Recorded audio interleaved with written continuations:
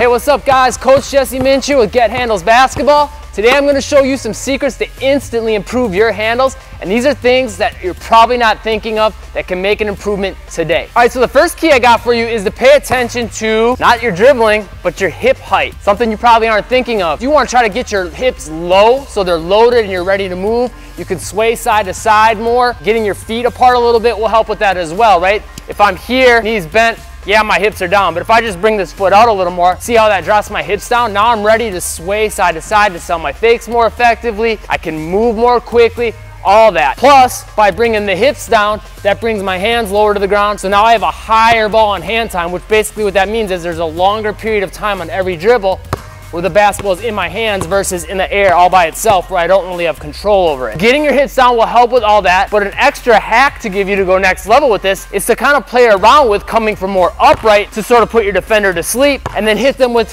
that change of height by dropping down. That'll catch a lot of defenders off guard. You can either use it to kind of freeze them up or put them to sleep and then blow by them, or you can kind of use it to freeze them up, put them to sleep, and then fake them out to really go flying one way and then come the other. Second big thing I got for you is shoulder movement. This is probably the number one most overlooked thing in handles. Just by adding some extra shoulder movement, that can really help sell your fake, right? If I get my hips low and I even sway my hips to the side, that's gonna make it seem like I'm gonna go one way if I'm gonna try to fake this way and then go into a crossover, right? But if I also put my shoulders down, notice the difference that makes in how it looks. Just watch how my body looks now. Does it look like I'm gonna go this way? Maybe. If I'm here, does it look like I'm gonna go this way? Yeah, I look like a sprinter in the sprinter block, right? Ready to take off. So by leaning your shoulders into some of your fakes can help a lot, but on top of that, it can help you protect the basketball. If you're my defender and on my first step, I get my shoulders down, now this closes this gap here where you can get in to steal the basketball, and my arm will naturally be here to also close that window a little bit more. So just by dropping those shoulders down, that can help you a lot with selling your fakes, protecting the basketball, and a ton more. Key tip I can give you is to attack your shoulder to your defender's opposite hip. Here, my right shoulder to my defender's right hip. You do that, you're gonna have a lot better chance of getting past your defenders, sealing them, and selling your fakes. Next big tip, your eyes. What are your eyes doing, right? When it comes down to selling your fakes, you got to use your eyes to make sure your defender thinks you're going in that direction. It's one of those little details that some players might not think is important or they just forget to put in place. But if you start doing that consistently, I guarantee your fakes are to look a lot more effective and they're going to start working a lot better to get your defender to go flying in the wrong direction. But on top of that, there's more that comes into this with your eyes. One thing I always tell my players is when you're dribbling the basketball, look at the hoop, but then use your peripheral vision so I can see my hands over here to see the rest of the court. That's going to allow you to make much better passes. And if you're locking your eyes on the rim and using your peripheral vision to see the rest of the court, not only can you see what's going on to make passes, but you can more quickly lock in. I always tell my players to pick a little link where the net hooks up to the hoop in the middle. You can quickly lock in on that link for when you shoot. So that'll help you also increase your shooting percentage off the dribble. That's one of the reasons Steph Curry is so deadly off the dribble and get his shot off so quick and so accurate because he's always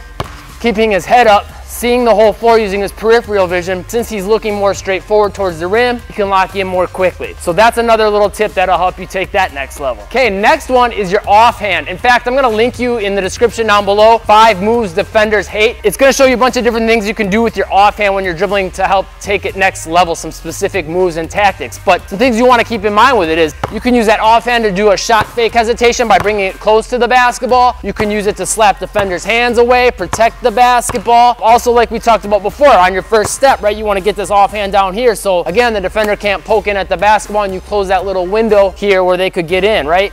Little things like that will make a big difference. You can use it to create a little extra separation, whole bunch of other things. Again, that link in the description down below for the five moves defenders hate, that'll really help you a ton with this. Getting that active offhand, again, is one of those more overlooked things that players don't think about. But if you think about it, if you have a problem with getting the ball stolen, just adding this in literally takes seconds. You could do this today and all your moves will be that much more effective. You won't get the ball stolen nearly as much and you can also create some more opportunities from that. Okay, next thing you can do to really improve your handles is improve improve your speed. You might say, well, how can I improve my speed today, coach? Is that really possible? Absolutely. Focus on this one thing, pounding the basketball. When you're dribbling, put some power onto it. That'll make your dribbling quicker. The more you practice that way, the higher of a ceiling you'll get as far as your comfort zone with how fast you can dribble the basketball. And the more you do that, when it comes to game situations, you don't want to be going full speed, pounding it as hard as you can to the point where it's uncomfortable, but your practice you do. The more you do that, now in the game, you can just kind of dribble naturally and not worry about pounding it, but that natural baseline of what your normal speed is without thinking about it will be higher because you practice this way, right? Muscle memory. Another thing you could do is working on specific combos, right? If there's like a combo move or a dribble move that you're good at,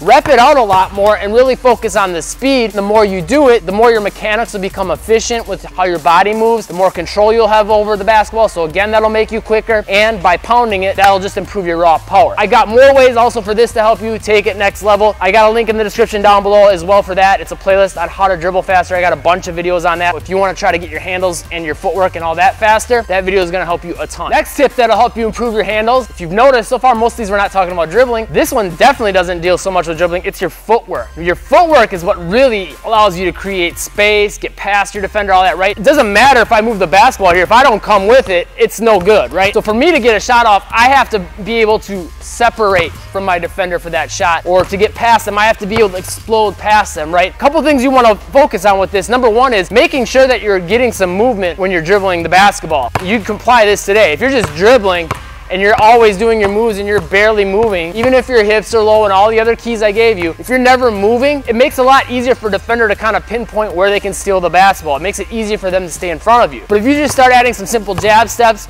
and a little bit of movement into your handles. Now everything starts working a lot better and your defender has to react and move a little bit more, right? And the more you move, they're not gonna be able to stay with you exactly squared up every single step of the way. There's gonna be that little inch or that little angle that you can get to get an advantage on them. A couple things you can do to work on this is number one, just doing that when you get into games. Two other things are to work on your athleticism, right? With your first step, your ability to stop on a dime, change directions, all that. I'll actually have a video down below that will help you with getting a more explosive killer first step that. But then on top of that, working on different footwork patterns. The simplest thing I can give you is just, focus on two main ones that really you'll want to use is an out jab. And you can do this a ton of different ways. Watch how I do this. I'm to out jab with this foot from a crossover. I can do it from a regular dribble. I can do it crossing over and moving in the same direction. There's a ton of different ways you can variate that. And then the other main one is the cross body jab. So right foot to left side. I can sell a fake here and then come back. I could do that also with a crossover. You can mix those things up, come up with some different variations, really go wild with that. But again, starting to get the footwork into the mix will help send more defenders flying. Create space, a whole bunch more, right? But without that footwork, you're gonna have a hard time creating anything off the dribble because again, you're just staying in one spot, you're not getting anywhere. Okay, this next tip ties right into the last tip. It's a hack that you can put into your game to instantly improve what you do off the dribble, and it's to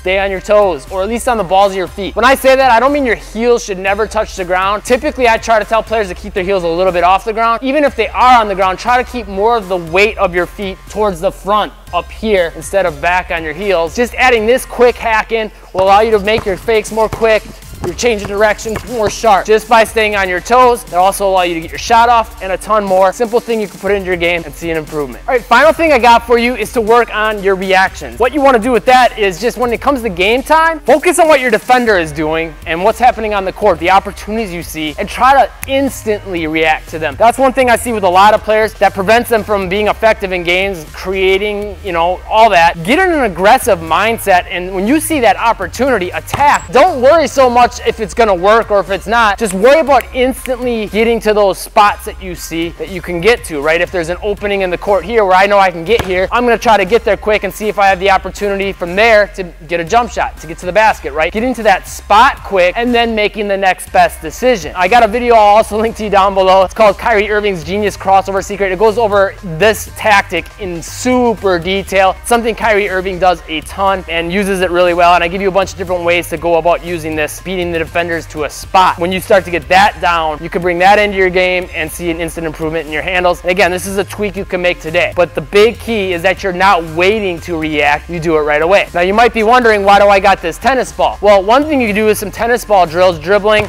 catching the tennis ball, throwing it out, catching it. So you can get in the habit of dribbling naturally, reacting to what's happening on the court and quickly moving. I'm also gonna have a link for you down below called Steph Curry's weird ball handling drills. It's gonna give you some different tennis ball drills that Steph Curry does to help him improve with his reactions. That's one thing he's really good at is again, seeing the whole court, making the best decision, whether it's shoot, pass, drive. That's why he's so deadly. He's versatile. Defenders never really know what he's gonna do. And it all comes down to number one, he gets he's got his skills down, but number two, the ability to react quickly to what's happening. It's that combination that will allow you to make your handles much more effective on the court. All right, so if you want to take your handles next level really, really fast, make sure you click that top link in the description down below. That's a 100% free workout that's already helped thousands of players. I'm sure it'll help you too. It's called the Defender Destroyer Workout. Just click that link, pop your email. I send it to you instantly for free.